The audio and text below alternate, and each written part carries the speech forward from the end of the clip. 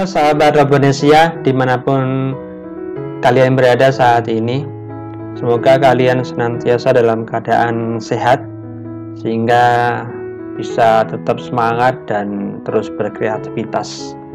Baik, jumpa lagi di channel Belajar Robotika Robonesia. Kali ini kita akan melanjutkan proses belajar kita untuk mengenal tentang robot Epson Kali ini saya akan mengajak sahabat sekalian untuk belajar tentang uh, fitur simulator yang ada di dalam software Epson RC Plus. Baik, software uh, Epson RC Plus ini uh, sangat bermanfaat bagi kita yang berprofesi sebagai robotic engineer atau mungkin automation engineer yang akan membangun uh, sistem manufacturing yang menggunakan robot Skara 4 aksis atau juga robot 6 aksis. Kenapa bermanfaat? Ya karena pertama misalkan perusahaan kita akan menggunakan uh, robot Epson sebelum pembelian, kita bisa meminta terlebih dahulu uh, software Epson SC Plus yang versi trial untuk kita uji coba uji coba apa? Uji coba menggunakan robot uh, eh, 4 aksis dan juga 6 aksis pada lapangan virtual ya yaitu melalui simulator yang sudah terintegrasi di dalam software Epson SC Plus tersebut. Nah untuk itu uh, tentunya akan lebih murah kan maksud saya lebih murah ya karena kita bisa menggunakan robot Epson untuk pembelajaran tentunya untuk uji coba apakah memang mudah digunakan kemudian juga sesuai untuk sistem manufacturing yang akan kita bangun. Nah kita nanti mencoba tanpa harus membeli robot. Ya baik. Langsung aja kita menuju uh, software Epson AC Plus nya ini sudah kita, saya buka ya. Kemudian kita maximize. Pertama-tama untuk bisa membuka uh, fitur simulator kita seperti halnya menghubungkan robot yang sesungguhnya yang sudah kita coba pada video video sebelumnya yang menjelaskan tentang Epson robot yang kalau kita punya robot yang aslinya kita menghubungkannya via USB ya. Yang artinya komputer kita dan juga robot eh kontrol robot itu kita koneksikan menggunakan kabel USB nah karena saat ini kita akan belajar mengendalikan robot Epson tapi yang versi virtual yaitu menggunakan simulator maka kita harus menghubungkan komputer kita dengan controller tapi controllernya adalah controller virtual. Ya di sini sudah saya buat satu sih. Tapi kalau bawaannya ini ini kalau yang USB kan kalau kita terhubung dengan controller robot yang sebenarnya. Kalau yang ini adalah bawaan contoh ya C4 sampel, CG6 sampel, N2 sampel ini adalah contoh yang sudah disediakan oleh Epson LC Plus. Tapi kita bisa menambahkan sendiri seperti yang ini ya C4 virtual ini yang sudah saya siapkan. Nah untuk mengenal kembali atau mengingat kembali tentang jenis controller yang ada di uh, software RC Plus. Di sini kita bisa lihat di uh, menu bar. Kita pilih setup, kemudian kita pilih opsi PC to control communication. Nah, di sini ada dua tipe ya. Dua tipe controller yang pertama yang tipe USB, yang kedua tipe virtual. Yang USB ini kalau kita terkoneksi langsung dengan controller asli, kalau yang virtual ini kalau kita akan belajar mengendalikan uh, suatu jenis uh, seri robot Epson tapi menggunakan uh, simulator. Sebenarnya ada satu, tapi ini karena belum pernah dipakai, yaitu satu lagi ya maksudnya tipe controller itu koneksinya adalah melalui Ethernet atau kabelan ya.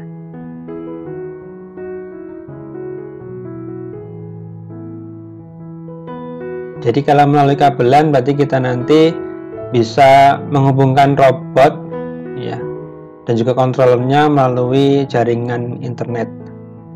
Ya. Oke, kita fokus pada tipe controller yang virtual saja. Yaitu kita pilih ini ya nomor 9 yang namanya C4 virtual ini yang uh, apa? Lingkungan simulator yang sudah saya siapkan. Baik jika sudah kita bisa menghubungkan uh, software Epson RC Plus dengan controller C4 virtual ini ya dengan menekan tombol connect. Kita tunggu sedang mengkoneksikan diri. Baik sudah terkoneksi ya. Di sini juga sudah berubah menjadi C4 virtual. Kita tuh close aja. Nah selanjutnya untuk membuka halaman simulator, kita bisa membukanya melalui menu tools, kemudian memilih fitur simulator atau bisa dengan shortcut Ctrl plus F5 atau juga dengan menggunakan ini ya uh, taskbar dengan icon ini tombol simulator ya boleh kita tekan yang ini saja ya. Oke. Nah ini sudah terbuka. Jendela robot simulatornya bisa kita perbesar dengan memaksimalkan ukurannya. Oke. Ini adalah uh, layout area kerja simulator robot Epson. Ini bisa kita lihat ada bagian-bagian ya yang nantinya akan berguna untuk uh, kita dalam menggunakan simulator robot Epson ini. Nah, ini sebelum penggunaannya saya jelaskan dulu bagian-bagian daripada software RC Plus ini. Yang pertama uh, di sini ada namanya apa? Ya seperti misalkan kita ini dulu kita seperti ini kan dulu ya supaya jelas. Ini adalah pemilihan mode. Ya kita bisa milih nanti modenya ada dua simulasi atau playback simulation atau playback ya. Simulasi ya hanya ini mensimulasikan tanpa melakukan perekaman atau recording sehingga tidak bisa di apa diputar ulang misalkan Nah, nanti kalau kita ingin menjadikan proses simulasi kita itu bisa diputar ulang, kita pilih mode playback. Oke ya. Kemudian di sini ada beberapa fitur uh, untuk membuat objek ya. Objek-objek yang ini seperti saya buat yang balak-balak warna merah, kuning, hijau ini kita bisa pilih di sini objek-objek dengan bentuk skim kubus uh, kemudian spare atau bentuk bola ya. Kemudian silinder. Kalau ini plain ya. Plain itu yang kalau yang sudah tersedia sini adalah yang warna biru ada kotak-kotak streamingnya ini. Ini adalah lapangan kerjanya. Tapi nanti tergantung kebutuhan. Terus kemudian ada fitur CAD kalau kita ingin menambahkan desain CAD dari luar ya tipe filenya untuk cache filenya ada XV3 VRML kemudian step iGuess kemudian atau kemudian yang terakhir DXF oke ya biasanya dari SolidWorks atau AutoCAD gitu. Ini adalah CAD file yang nanti yang bisa disupport oleh simulator Epson eh simulator robot Epson ini untuk bisa ditambahkan di uh, manipulatornya. Misalkan nggak hanya manipulatornya bisa jadi kita membuat simulasi yang real ya. Misalkan membuat sistem manufaktur di sini. Jadi gambar desain manufakturnya yang digambar menggunakan uh, uh, software CAD ya seperti AutoCAD atau uh, SolidWorks di dalam plane ini. Dan juga bisa juga membuat misalkan tambahan di sini gripper ya gripper pencapit atau yang menggunakan apa uh, hidrolik ataupun yang oh kalau yang robot Epson ini bukan bisa hidrolik ya tapi angin pneumatik ya pakai pneumatik oke. Kemudian di sini ada fitur kamera. Ini sepertinya untuk misalkan akan belajar uh, vision teknologinya daripada Epson Robot ya. Nanti mungkin kalau uh, di lain kesempatan kita akan bahas juga kemudian ini adalah simulator setting yang berhubungan dengan uh, beberapa pengaturan ya berkaitan dengan simulasi yang akan kita lakukan di sini. Nanti kita bisa gunakan ya. Pertama yang utama ini adalah tab robot tentang render robot optionnya gimana. Kemudian nah ini ya tentang render joinnya supaya kita terlihat gitu.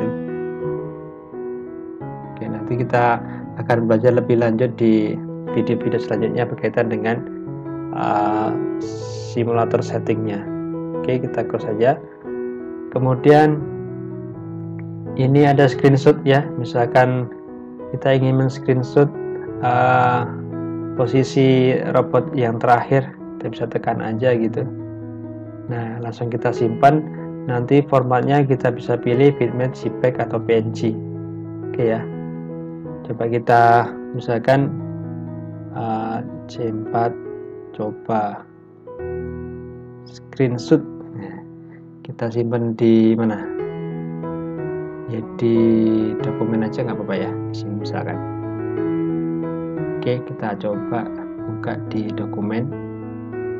Hasil ini ya tadi ya BMP tapi belum saya pilih tadi. Nah ini contoh hasil screenshotnya. Oke ya kita close. Kita kembali ke software AC plusnya. Kemudian ini nanti ada waktu misalkan kita uh, untuk simulatornya ini simulasinya prosesnya kita akan rekam ya. Mungkin ini waktunya akan tertampil di sini ya jam menit detik. Ini mungkin counter naiknya ya count upnya. Ini untuk mengha oh uh, mengclearkan timing timingnya kembali ke nol. Ini clear TCP pad ya ini apa ya saya belum hafal juga. Nanti kita akan tahu kalau sudah kita coba. Terus ini ada fitur object move ya object move tuh untuk menggerakkan objek yang ada di area kerja simulator. Dan ini untuk ini objek rotation atau robot jog yaitu digunakan untuk menggerakkan uh, memutar objek atau melakukan jogging ya. Kalau pada video sebelumnya saya sudah ajarkan tentang cara jogging menggunakan robot manager ya. Nanti bisa dilihat di video-video sebelumnya. Yang tapi itu untuk robot yang kita langsung koneksi pada robot yang sebenarnya ya. Nah ini misalkan contohnya begini kita coba maksimal supaya tahu. Nah ini ya. Ini kita bisa lakukan untuk objek move dulu. Misalkan ini kan posisinya kayak gini ya.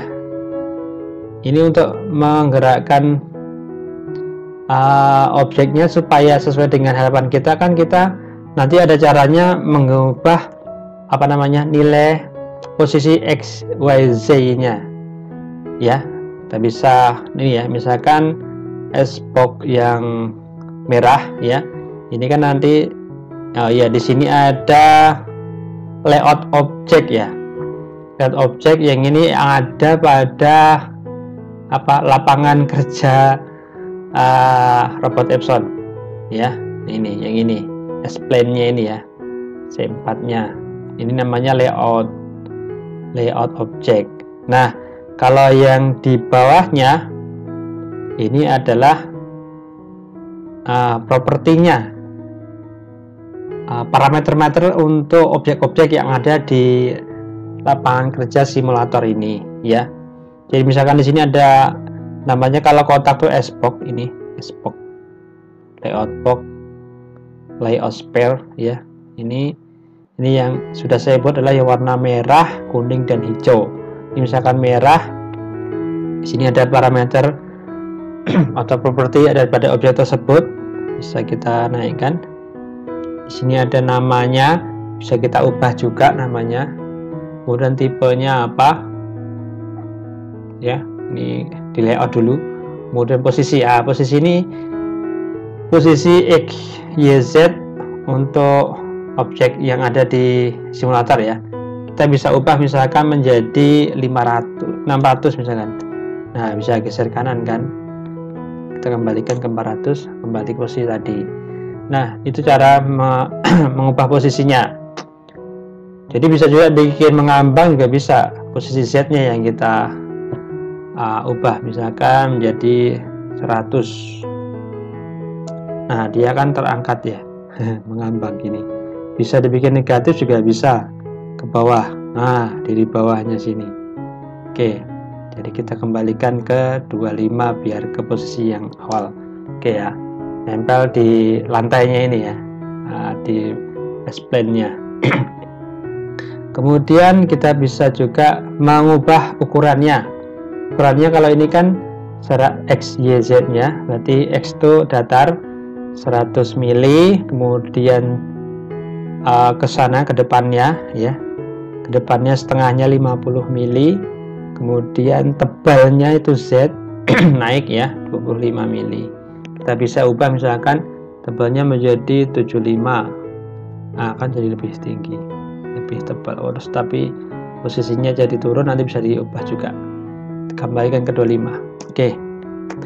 Itu cara uh, mengubah ukuran. Tapi mengubah posisi dan juga ukurannya ya.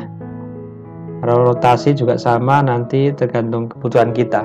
Jadi tergantung kebutuhan uh, sistem yang akan kita bangun di ranah simulasi ini ya. Ini beberapa parameter lain yang nanti kita akan temukan penggunaannya.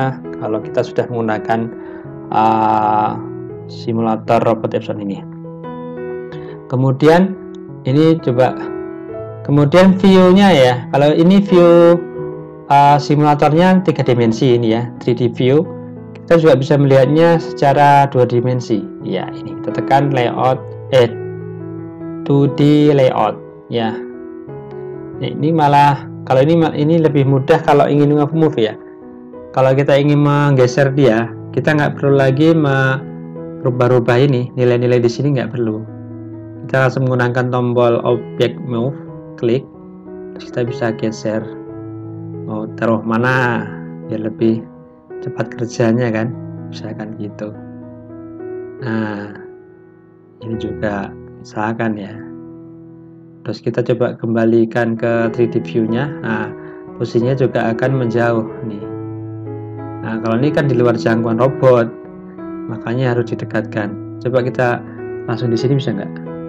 Oh ternyata hanya bisa sumbu apa nih? Sumbu Y kalau biru ya. Kalau sumbu X nya sepertinya belum belum berhasil saya. Oke kita kembalikan dulu ke 2D layoutnya. Kemudian kita ke, ke kembalikan ke posisi awal biar terjangkau oleh robotnya. Oke ya. Sini sini tadi ya. Oke kita kembali ke 3D view. Oke jadi ini bisa kita ubah sesuai dengan kebutuhan kita. Oke jadi ini ada layout objeknya yang apa? Kalau C4 ini kan robot ini ya kemudian kalau yang S-Plane ini yang lapangannya ini yang ada warna biru tua dan juga kotak-kotak grid ini. Kemudian untuk S-Box ini objek yang kita tambahkan sendiri. Kalau kita menambahkan lagi juga bisa. Misalkan kita menambahkan layout ini yang silinder ya misalkan. Nah, oh salah. Maaf. Kalau salah kita bisa delete dulu. Lihat aja. Nah nanti naruhnya di sini ya. Di plane dan silinder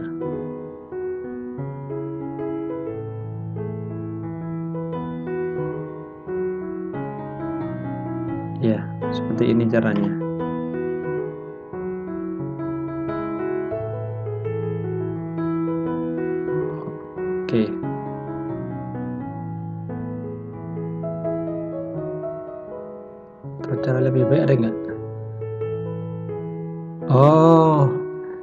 pilihnya bukan di ini bukan di explain tapi di robotnya. Pilih di robot C4 nya terus tambahkan supaya satu root dengan ini ya. Di sini di bawahnya Xbox ya supaya di situ kita tambahkan. Kita klik di sini di robotnya. Bagian C robotnya ini ya. Kita klik di sini tambah bulat. Eh jangan lupa pindah dulu dan ya kembalikan ke sini tambah bulat. Itu oke kita delete aja. Kita belum akan tambahkan oke sip. Nah terus ini kalau project explorer ini ini di anu ya untuk pro, apa namanya uh, project yang di Epson SC Plus nya ini berbeda. Oke jadi yang kita perlu kenali terus ini ini aja ya tentang modenya tadi terus beberapa uh, menu taskbar ya. Kita tadi sudah coba uh, pelajari kemudian view-nya bisa 3D view dan juga 2D layoutnya. Kita bisa lihat juga sendiri. Ini kita bisa atur. Kemudian tadi tentang layout objek dan juga propertinya masing-masing objek. Dan di sini yang terakhir ini ya bagian yang bawah yaitu record and playback. Jadi kita penggunaan simulasi rapot Epson ini kita bisa merekamnya. Bisa merekamnya baik hanya sekedar direkam supaya bisa di apa putar ulang maupun nanti bisa kita uh, jadikan file video ya nanti kita akan bahas. Jadi ini fitur di sini adalah nanti berguna untuk uh, membuat uh, simulator yang bekerja itu bisa kita rekam dan kita kita putar ulang playback dan juga bisa kita produce menjadi produksi menjadi sebuah file video. Itu. Baik teman-teman ya, uh, saya kira sudah uh, jelas untuk pengenalan daripada uh, cara membuka simulator robot Epson di software Epson RC Plus dan juga beberapa pengenalan area kerja daripada uh, software RC Plus ini. Baik, nanti untuk selanjutnya kita akan bahas uh, tentang simulator robot Epson yang lebih uh, dalam lagi ya. Baik. Demikian video kali ini. Terima kasih sudah menyimak.